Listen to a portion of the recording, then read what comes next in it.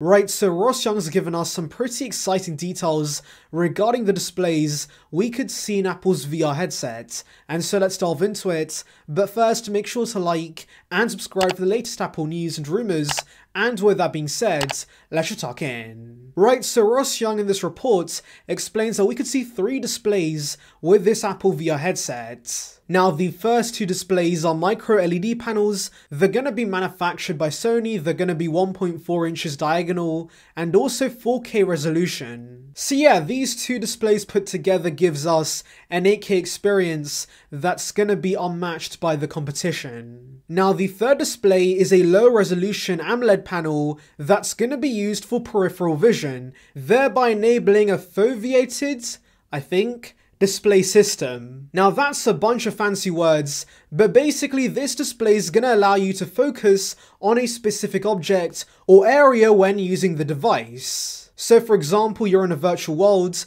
there's a crowd, you're trying to focus on a singular person, and so you look at them, and the headset can focus on that person and enhance the resolution of that focus point and lower the resolution of the surrounding area. So yeah, that's some pretty cool tech, and in fact, Sony recently announced they're going to be using the same thing in their PSVR 2 headsets for eye tracking, and so that could be suggesting that the main form of controlling this headset could be eye tracking, and this smaller AMOLED panel could be used for that. Now Ross Young still believes we could see this at the end of 2022, which of course goes against Mark Gurman's recent report regarding delays. Although Ross Young does corroborate with Gurman on the price, it's going to be several thousand dollars, and so yeah, this is going to be a very high-end VR headset. Now finally, Ross Young does end the report by stating we could see multiple cameras for hand tracking with this VR headset, as well as a LiDAR scanner that's going to scan